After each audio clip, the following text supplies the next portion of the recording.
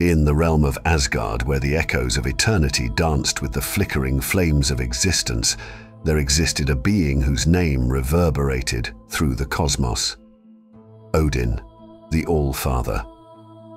Odin was not merely a god, he was the orchestrator of destinies, the keeper of wisdom and the wanderer of realms. His visage was one of wisdom etched into every line of his weathered face, one eye gleaming with an otherworldly knowledge, the other hidden behind a patch, a sacrifice made for transcendent wisdom at the well of Mimir. Long had Odin ruled over Asgard, guiding his people with the sagacity born from ages of wandering through the nine realms. His throne sat atop the celestial heights of Valaskjalf, overlooking the universe with a gaze that pierced the veils of time and space. But even the All-Father was not without his own trials and tribulations. The roots of Yggdrasil, the world tree, whispered of a prophecy, the impending twilight of the gods, Ragnarok, where chaos would reign supreme and the universe would face its inevitable end. In the hallowed halls of Valhalla, where fallen warriors found solace in eternal feasts and battles, Odin sat brooding upon his throne, his ravens, Hugin and Munin, perched nearby, whispering secrets from afar into his ears. It was in this moment of cosmic contemplation that Odin felt a calling, a whisper from the runes, ancient symbols pulsating with a mystic energy that beckoned him forth. Guided by the inscrutable whispers of fate, Odin embarked on a journey through the realms seeking answers to stave off the impending darkness. His travels took him to the depths of Niflheim, where the chilling mists of the primordial realm caressed his cloak. There, amidst the icy tendrils of Hel, the realm of the dead, Odin sought counsel from the seeress Volva. Her eyes, milky with sight beyond mortality, met Odin's lone gaze, and she foretold the omens of Ragnarok in cryptic verses. Undeterred by the grim prophecies, Odin continued his quest, venturing into the fiery realm of Muspelheim.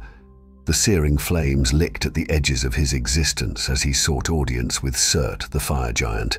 Surt's laughter echoed through the inferno as he spoke of the cataclysmic battles that would consume the cosmos. Yet, Odin's resolve remained unshaken. He traversed the realms, delving deeper into the mysteries of existence.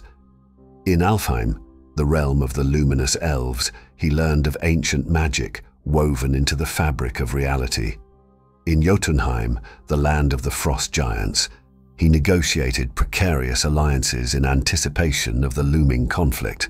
As time flowed like a river, weaving the tapestry of fate, Odin's pursuit of knowledge led him to the very heart of existence, the well of Urd, where the Norns, the weavers of destiny, resided.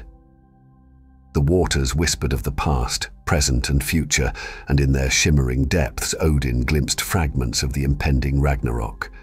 With each revelation, Odin's heart grew heavy, burdened by the weight of knowledge. The inevitability of Ragnarok loomed like a spectre, casting its ominous shadow over all creation. Yet, in the face of impending doom, the Allfather remained resolute, for he knew that even in the darkest hour, hope flickered like a solitary flame in the abyss. Returning to Asgard, Odin convened the Council of Gods, his voice a symphony of authority and determination.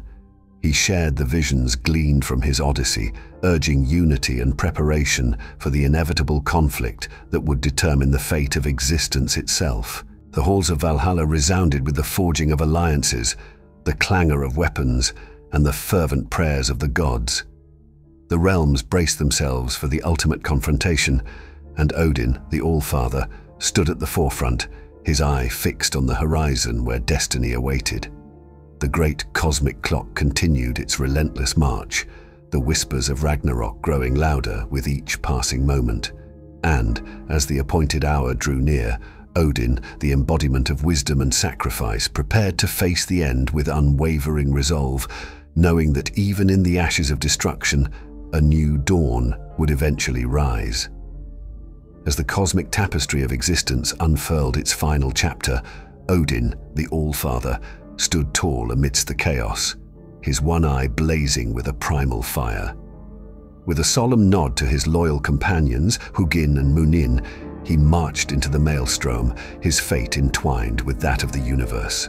The clash of gods and giants, the roaring tempest of elemental forces, and the deafening crescendo of battle echoed through the realms. Amidst the cataclysmic chaos, Odin fought with the ferocity of a thousand storms, leading the charge against the forces of oblivion.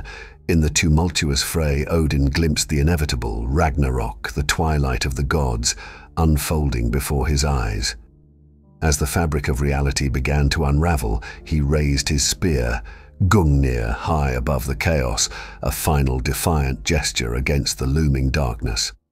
And in that climactic moment, as the cosmic symphony of existence reached its crescendo, Odin uttered a resounding cry that echoed across the cosmos, a testament to the resilience of the divine spirit, a proclamation that reverberated through eternity. Even in the face of inevitable oblivion, we, the gods, shall endure. And as the universe descended into the abyss, the legacy of Odin, the All-Father, endured, a beacon of wisdom, sacrifice, and indomitable spirit, a testament to the eternal cycle of creation, destruction, and rebirth.